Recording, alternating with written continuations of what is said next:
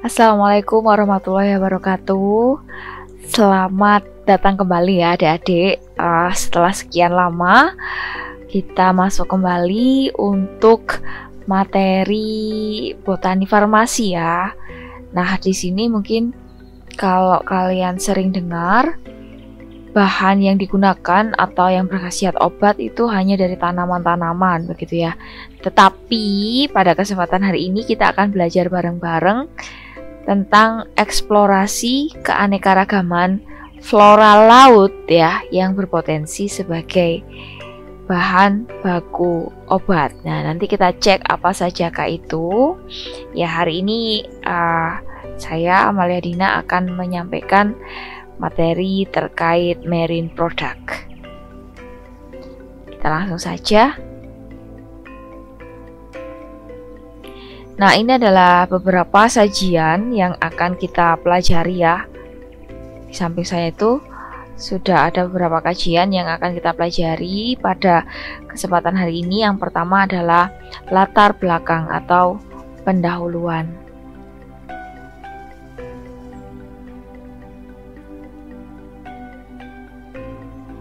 Nah, kemudian dari pendahuluan itu ada produk alam dari alga laut yang dapat digunakan sebagai obat. Kemudian kita akan mempelajari tentang red alga atau alga merah. Kemudian setelah alga merah kita pelajari alga hijau. Ada apa saja di dalamnya? Dan selain itu ada obat alam yang mampu uh, berhasiat gitu ya atau ampuh dari jenis jamur laut atau marine fungi ya. Dan yang terakhir ini adalah senyawa bioaktif dari mangrove dan jamur-jamur yang terkait gitu.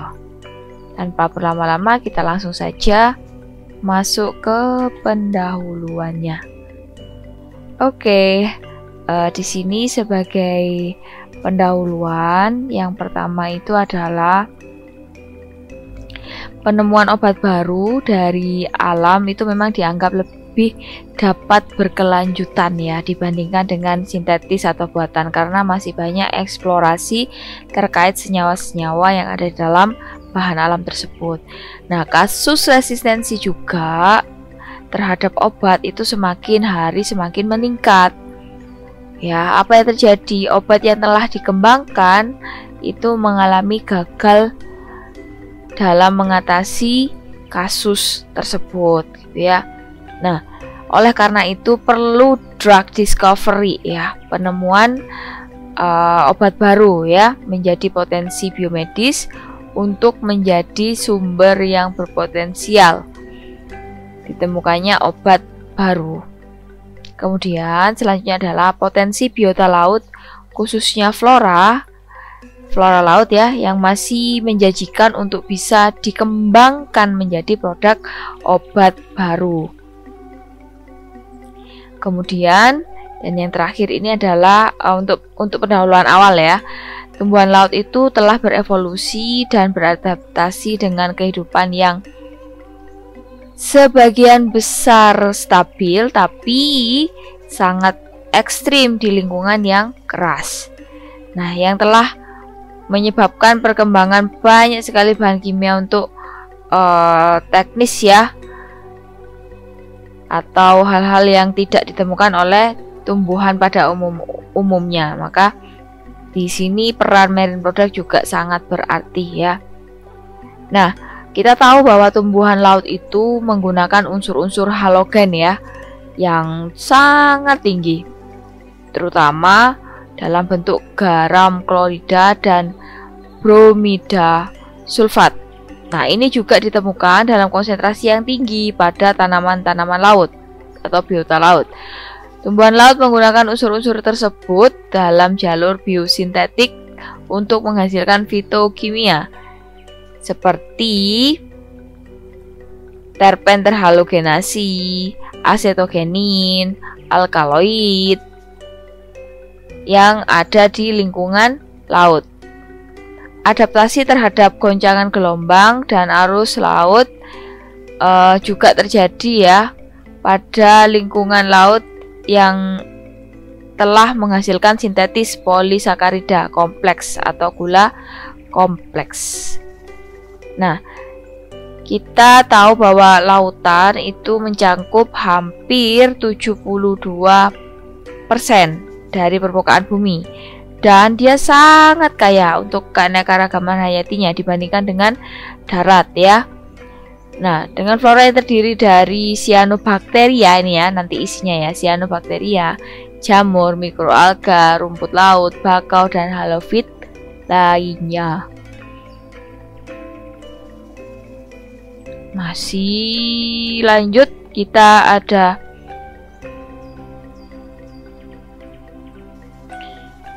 potensi besar ya e, lautan itu untuk dieksplorasi terutama untuk penemuan obat baru. Nah, teknologi kimia dan genetika molekuler modern itu memang diharapkan bisa e, mendapatkan sejumlah sumber daya ya termasuk produk obat, kosmetik, makanan, bahan kimia industri dan produk-produk lama lingkungan lainnya. Nah, rumput laut itu uh, terutama ya rumput laut coklat merupakan reservoir iodium yang baik karenanya mengkonsumsi sebagai sumber makanan menjamin penurunan insiden penyakit gondok dan kelenjar. Apalagi negara-negara maritim telah memanfaatkan rumput laut sebagai anti hemintik, anestesi dan as anestesi dan salep. Kemudian uh, ada juga untuk menyembuhkan batuk, luka, asam urat, gondok dan lain-lain sejak dari zaman kuno. Kemudian pada bab ini juga atau chapter ini juga nanti ada adik akan menyimak uh, pembahasan tentang penugasan produk alam tersebut yang berasal dari flora laut sebagai obat alami terhadap penyakit manusia, tetapi juga tentang potensi untuk mengurangi terjadinya infeksi. Nah, itu beberapa pendahuluan yang akan kita lalui bersama.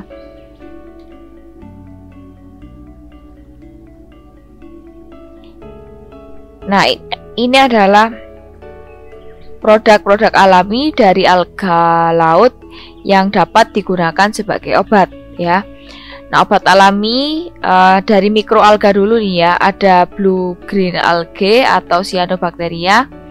Obat alami ampuh dari makroalga nanti kita cek di belakang ya.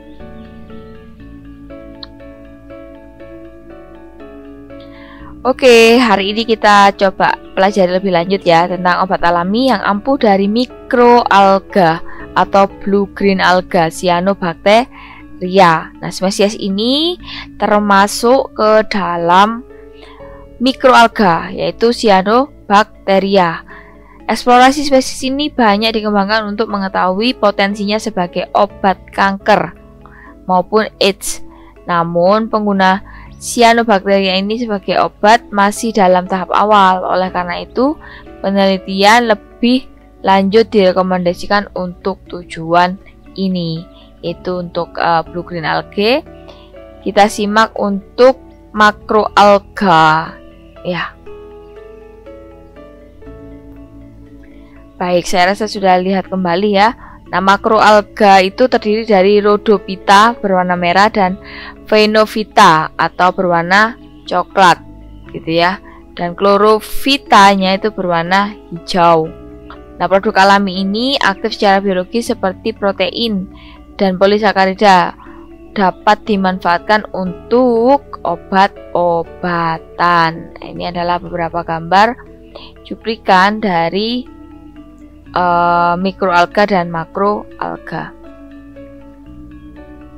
Baik, di sini ada brown alga atau alga coklat ya, V Phaeophyta.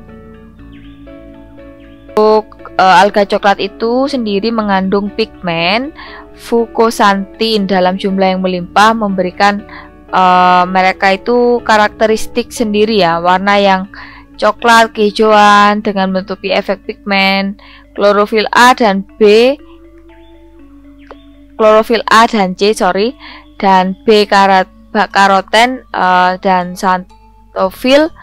Uh, di sini ada senyawa sitotoksik dia senyawa antimikrobial dan uh, senyawa-senyawa lain ya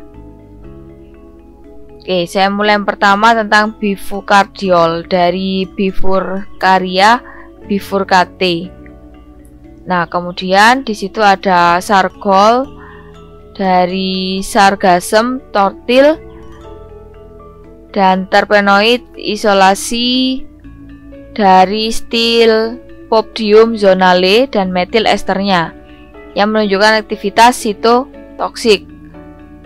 Baru-baru ini dilaporkan bahwa Stokospermum marginatum menghasilkan sparte diterpen yang dapat menginduksi apoptosis pada sel meloma. Keren tuh. Kemudian untuk antimikroba ya. Sebagai antimikrobanya dia uh, meroditerpenoid atau metoxibifurkernon Nah, ini dia diisolasi dan identifikasi dengan Cistoseira. Di sini uh, menunjukkan efek fungisida dan uh, pada tiga patogen ya.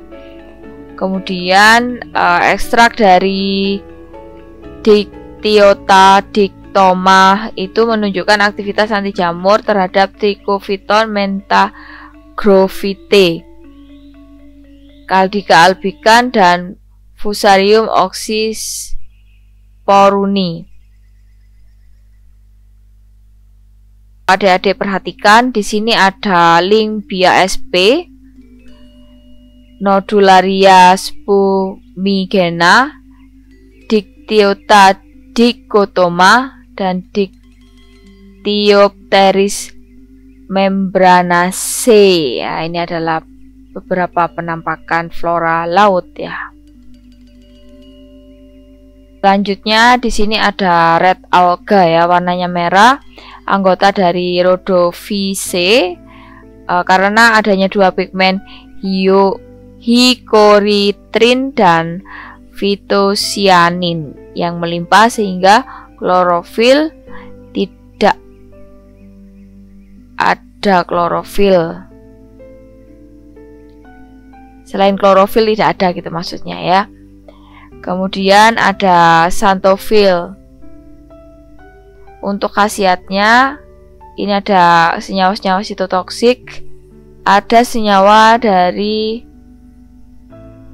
laurenterol, spesies Laurencia ocamurai yang menginduksi apoptosis dan dapat menyebabkan terbatasnya pertumbuhan sel melanoma, beberapa aldehid monoterpen dan sesquiterpen dari Polcamium corallorhis dan Laurencia tristisa dilaporkan masing-masing menghambat pertumbuhan uh, esofagus sel lain ya dan sel hela gitu. Pirasenol atau produk turunan polieter squalen diisolasi dari Laurencia viridis dan menunjukkan aktivitas sitotoksik kuat dan anti kanker. Ya, kemudian untuk uh, senyawa mikrobanya sulquinofosil diasil gliserol dari Gigartina tenella menunjukkan aktivitas penghambatan terhadap HIV 1 reverse transkriptase.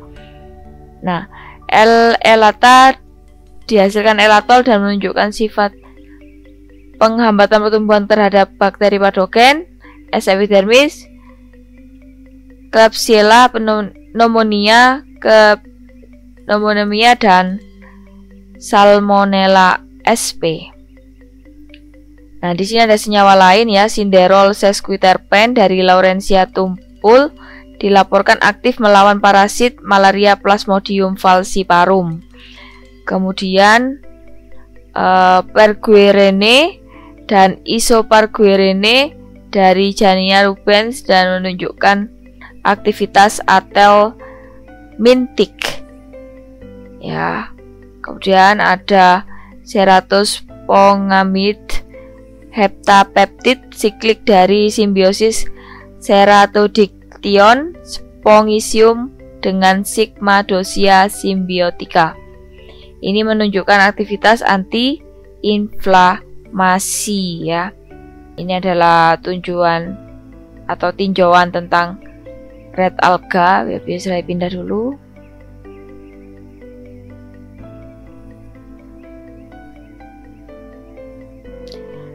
Nah, seperti ini ya penampakan red alganya.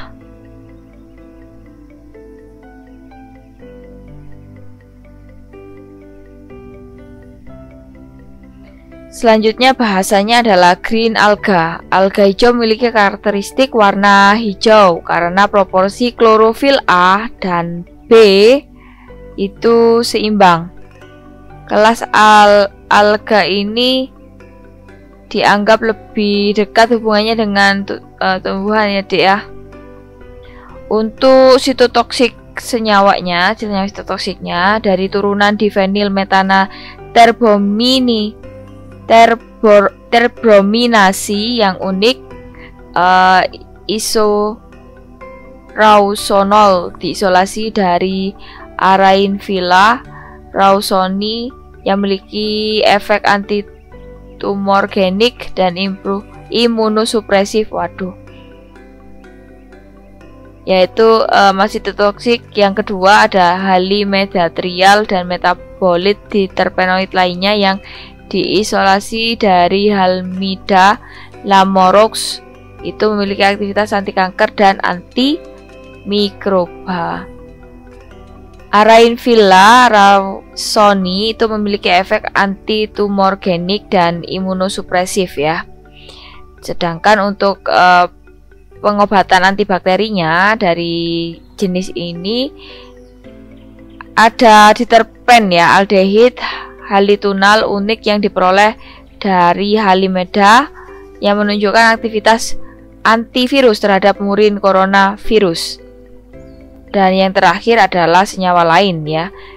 Cimobarbatol dan turunannya diisolasi dari Cimpolia barbat memiliki aktivitas antimutagenik ya. Itu salah satu contoh dari senyawa lain green alga adalah merin fungi ya tadi uh, jamur terkait itu adalah merin fungi. Nah, fungi laut yang dapat bersifat saprofit pada tumbuhan dan hewan yang mati atau parasit pada mangrove gitu ya. Alga atau tumbuhan laut lainnya. Nah, senyawa bioaktifnya pada merin fungi ini ada Aspergillus versicolor, yang dapat digunakan sebagai pencahar anti malaria serta anti neoplastik. Nah, senyawa bioaktif dari mangrove ini mangrove dan uh, jamur ya. Itu mangrove dapat beradaptasi dengan baik dengan kondisi yang uh, ada dalam laut seperti perubahan kelembapan, garam yang tinggi gitu ya, pasang surut dan tekanan biotik seperti kehadiran uh, sejumlah besar mikroorganisme dan herbal herbivora sorry maksudnya herbivora